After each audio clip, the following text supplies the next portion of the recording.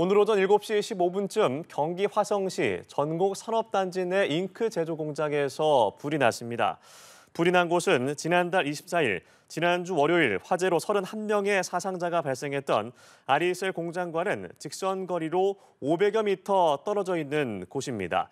소방당국은 대응 1단계를 발령하고 진화 중입니다. 특히 공장 내부에 유해 화학 물질이 있어 연소 확대 저지에 주력하고 있습니다. 화재 당시 작업자 3명이 공장 안에 있었지만 대피해서 인명 피해는 현재 없는 것으로 알려졌습니다. 경찰과 소방당국은 진화가 완료되는 대로 정확한 화재 원인과 피해 규모를 조사할 예정입니다.